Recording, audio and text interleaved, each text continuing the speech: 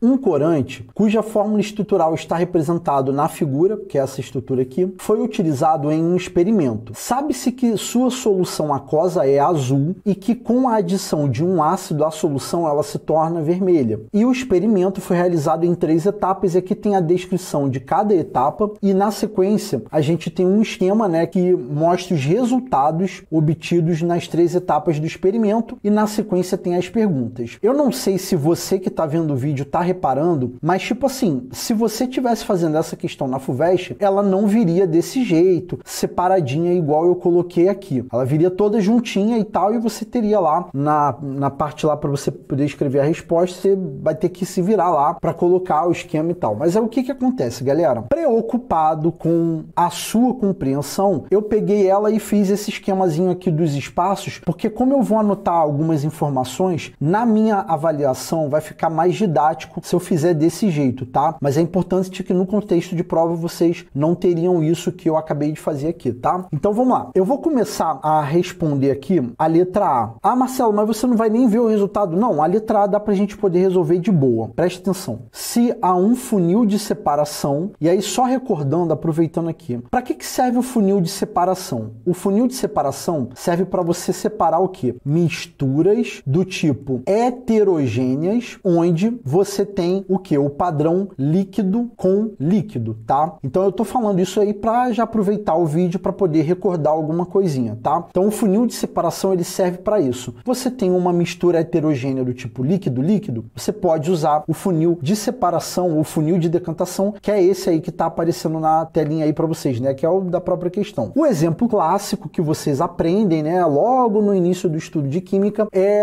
a possibilidade de aplicar o funil de separação para você separar uma mistura de água com óleo. E como é que está baseado essa metodologia? Essa metodologia se baseia no fato de que na parte de baixo, né, o líquido que está aqui embaixo é o líquido que tem maior densidade se comparado com o que está aqui em cima, tá, pessoal? Então, basicamente, uma recordação aqui rápida, tá? E aí, ainda na letra A, ele está dizendo assim, olha, se há um funil de separação forem adicionados água e de cloro metano, então o que que você entende que água e diclorometano são o que? São imissíveis. E aí, na minha avaliação, eu acho que isso é relevante para a gente poder entender aqui o desenvolvimento da minha resolução, tá? Então, tipo assim, não faz sentido a FUVEST colocar na letra A, tipo, uma, qual é o que vai estar em cima, tipo assim, com, por exemplo, a água e álcool. A gente sabe que água e álcool, especificamente o etanol que eu estou me referindo, né, são miscíveis. Então, não faz sentido ele fazer uma pergunta aqui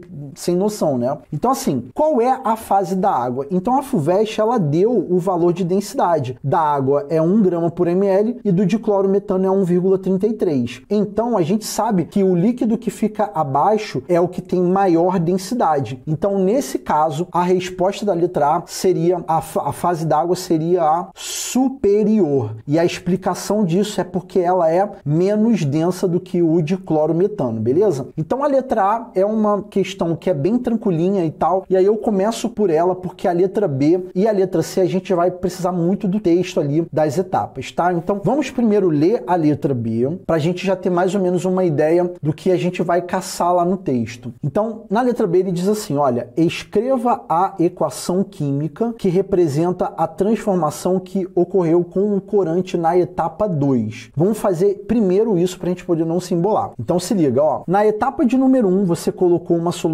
aquosa do corante em um funil de separação e em seguida um volume igual de diclorometano foi também adicionado a esse funil, agitando-se o conteúdo em seguida. Após algum tempo, observou-se separação em duas fases. Então observe que aqui na imagem o resultado, né? Lembre-se que o texto diz que está mostrando os resultados obtidos, tá? Então o resultado foi que na parte superior eu tenho um líquido de coloração azul e aqui embaixo um líquido incolor. Aí é que tá. Vamos entender aqui o que está rolando na etapa de número 1 um como resultado. Essa porção superior, ela vem ser o quê? Ela vem ser uma solução aquosa com um corante, tá? E aqui embaixo, inclusive a densidade lá, né, dá uma, um apoio pra gente, né, ter essa conclusão. Aqui embaixo é o diclorometano. Então, galera, a gente acabou de chegar a essa conclusão aqui. Antes que você pense em me perguntar caso sirva essa dúvida. Ô Marcelo, por que, que aqui em cima é a solução aquosa com corante? Corante. Lá no início do texto ele diz assim: olha, um corante cuja forma estrutural está representada na figura foi utilizado em experimento. Sabe-se que a solução aquosa é azul. Então, ó, se tá azul é porque é a solução aquosa com o corante e logo aqui embaixo é o diclorometano. Antes de eu continuar com a resolução, eu queria que vocês considerassem um outro padrão que é assim, olha, se na etapa de número 1 um, o resultado foi o diclorometano e a solução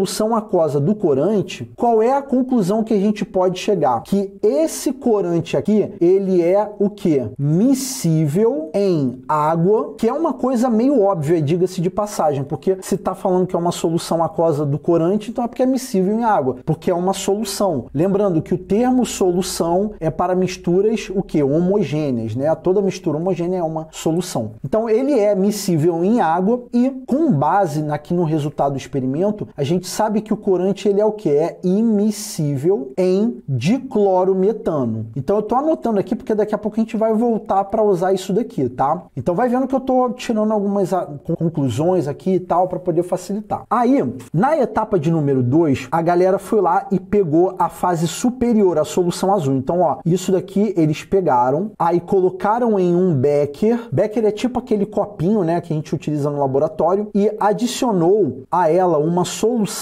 aquosa de ácido sulfúrico até a solução se tornar vermelha. Então vamos voltar aqui em cima, ó. Olha que ele diz, olha, se você faz a adição ao corante de um ácido, ela se torna vermelha. Então tá aqui de acordo, ó. Colocou ácido sulfúrico, tornou-se vermelha. Aí depois que você fez isso, você voltou para o funil de separação, então você tirou do copinho e jogou novamente no funil de separação, ao qual também foi adicionado igual volume de diclorometano. Agitou-se o conteúdo e após algum tempo observou-se separação de fases. Aí é que tá. Observem o seguinte: na etapa de número 2, o resultado tá me dizendo que aqui embaixo tá vermelho. Então a gente sabe que o corante que sofreu uma transformação por causa do ácido tá aqui embaixo. Então, galera, o corante modificado que ficou vermelho tá aqui embaixo por causa da questão da coloração, tá? Ó,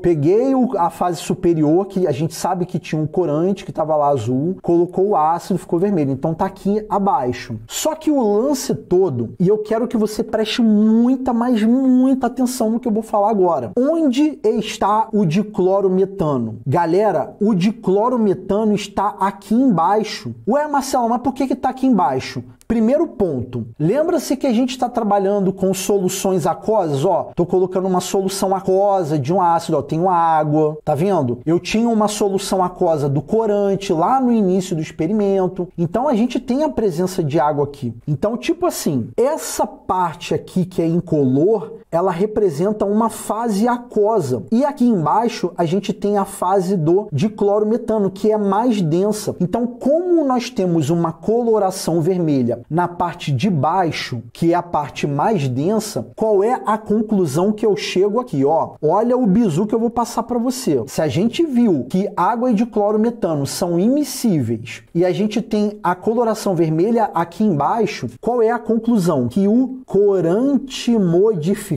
né, por conta do ácido, ele é o que? Ele é miscível em diclorometano. Se ele não fosse miscível no diclorometano, o líquido logo acima estaria vermelho e embaixo estaria o diclorometano, tá? Lembrando que o diclorometano é mais denso do que a água. Então, galera, agora eu vou dar uma parada na etapa de número 2 e assim, qual é a recomendação do professor Marcelão da Química? Ó, se você não entendeu até esse momento a questão da interpretação, o que eu gostaria que você fizesse é, se até aqui você não entendeu a interpretação que eu estou fazendo, dá um pause no vídeo, e veja novamente, etapa por etapa, e tenta acompanhar a leitura do texto e a linha de raciocínio que eu estou traçando aqui, tá? Porque essa questão ela é complicadinha, que é a interpretação. Então vamos lá. A gente vai dar uma etapa, uma pausa na etapa de número 2 e olha só. Ele quer que você escreva a equação química que representa representa a transformação que ocorreu com o corante na etapa 2. Então, na etapa de número 2, ó, tá vendo a estrutura aqui do corante? Eu vou pegar essa estrutura e vou desenhar logo ali embaixo para adiantar. Beleza, representei aqui a estrutura do corante. Aí qual é o esquema? Não sei se você está reparando que nesse trecho aqui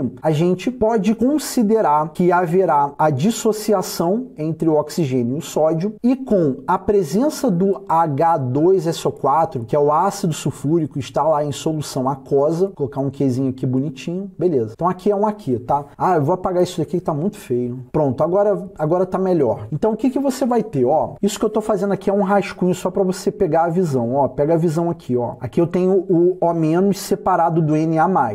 Então do ácido, o que, que vai acontecer aqui? O que, que a gente tem no ácido que é interessante pra gente? O H+. Lembra que o ácido libera H+, né? Que é a teoria de Arrhenius. Ah, quando eu tenho um ácido em solução aquosa, ele vai liberar H+, como um único cátion e tal. Então, um ácido tem H+. Só que o que, que acontece? Aqui, nessa estrutura, você só vai precisar de um H+. Por quê? Porque a carga aqui é um mais. Então, eu só preciso de um H+. Só isso que eu preciso. Eu não preciso de dois aqui, eu só preciso de um. Então, o que, que eu vou fazer? Eu vou voltar aqui, vou tirar esse rabiscado aqui em verde, porque eu vou, para poder a gente ganhar tempo aqui, eu vou copiar essa estrutura, vou voltar aqui com ela. Agora, eu vou apagar aqui isso tudo e vou representar aqui o hidrogêniozinho aqui, ó. Eu acabei de constituir um fenol. E aí, o que, que eu vou ter como produto aqui? Ó, eu vou ter o Na+, aquoso, esse Na+, que saiu, e vou ter também o HSO4- aquoso. Ué, Marcelo, mas pô, HSO4- sim, galera, lembre-se que o ácido tem dois hidrogênios, mas aqui eu só preciso de um. Então eu vou ter o Na+ dissociado e eu vou ter o HSO4-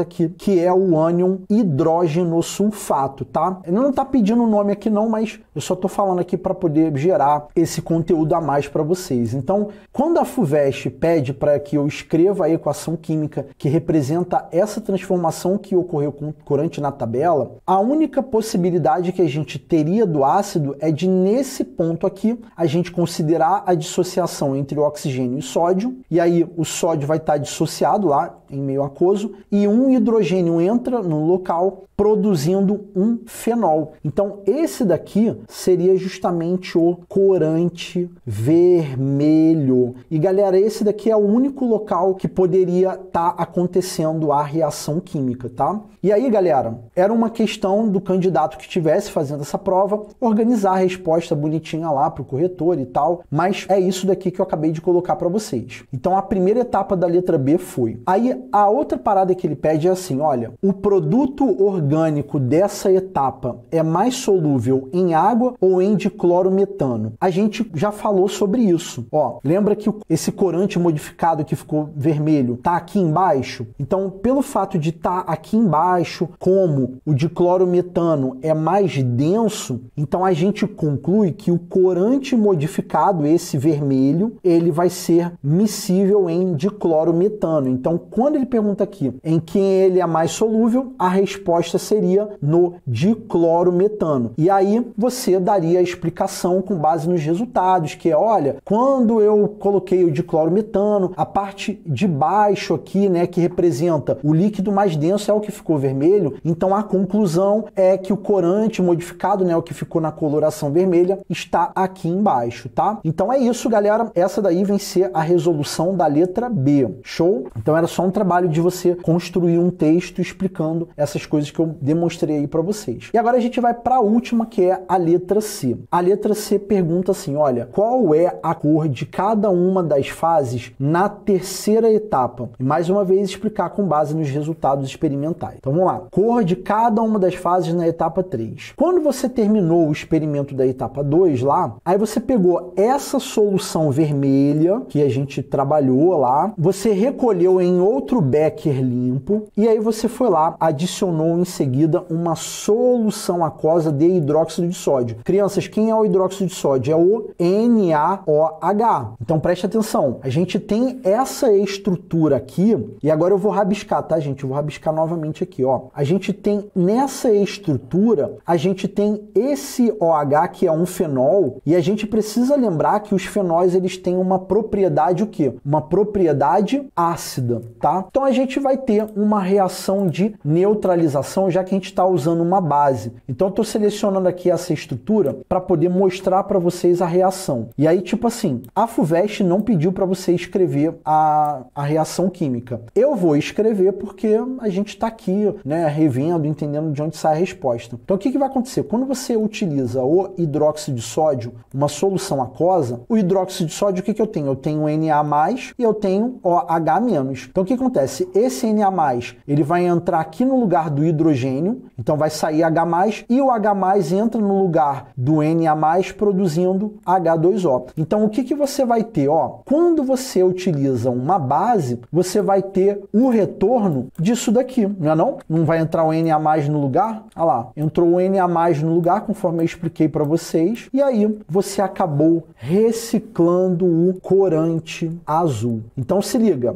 ao acrescentar o hidróxido de sódio, você tem uma mudança de cor. Essa mudança de cor é o retorno para o azul. E aí, o conteúdo do Becker foi transferido para um funil de separação limpo, agitou-se o conteúdo e após algum tempo observou-se a separação de fases. E aí, galera, quem é quem aqui na etapa 3? Lembra que a etapa 3 a gente começou com a solução vermelha e a solução vermelha era quem? Era o corante modificado, né, que ficou vermelhado lá. E aí o que que a gente tem? O diclorometano, tá? Então aqui, como você pegou a solução toda, então aqui na fase inferior o que que você tem? Você tem o diclorometano e na fase superior, né? Lembre-se que o diclorometano está ali embaixo porque ele é mais denso. E na fase superior a gente tem o que? Tem a fase da minha solução aquosa. E aí a questão é, é a, a solução aquosa porque eu tenho um hidróxido de sódio, tal, enfim. Essa solução aquosa ela vai ter a coloração azul. E aí você fala assim, ah, Marcelo, mas por que, que é coloração azul? Galera, é coloração azul porque eu retornei para o meu início, tá? Aqui o corante, o sódio que entrou ali no lugar do hidrogênio, do fenol. E olha o detalhe. Lembra que lá no início da questão eu falei para vocês que o corante era miscível em água? Então o corante só pode estar tá aqui em cima na fase superior, que é a fase aquosa. E aqui embaixo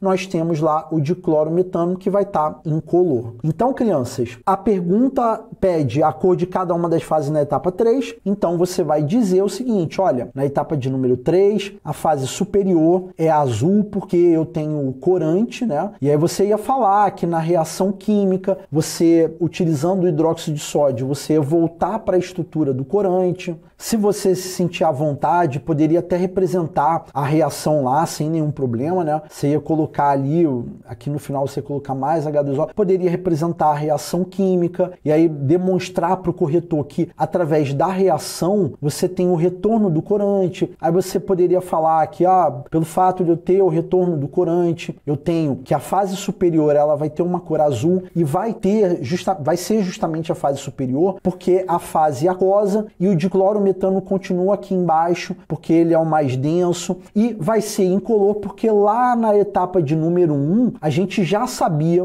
que era incolor, né? Como a própria questão já tinha falado desde a etapa de número 1. Então era só uma questão de construir o texto, tá? O raciocínio foi esse que eu comentei aqui com vocês. Se você está vendo esse vídeo e está pensando assim, caraca, que questão complicadinha no aspecto da interpretação. Se você está pensando isso, eu gostaria que você soubesse que esse é o cenário normal, porque eu também acho essa questão complicada e outros alunos que eu já conversei também acham essa questão um pouquinho complicada, o padrão da interpretação. Então, esse é um jogo normal, não se sinta mal por isso, tá? O que é importante é que você entenda. Se por acaso tem algum ponto dessa questão que você não entendeu, não deixa de retornar no ponto que ficou meio perdido e ver novamente, pegar a questão com calma, dar uma olhada lá no texto, que eu tenho certeza que você vai conseguir desenrolar, tá? Então é isso, essa é a resolução da questão de número 4.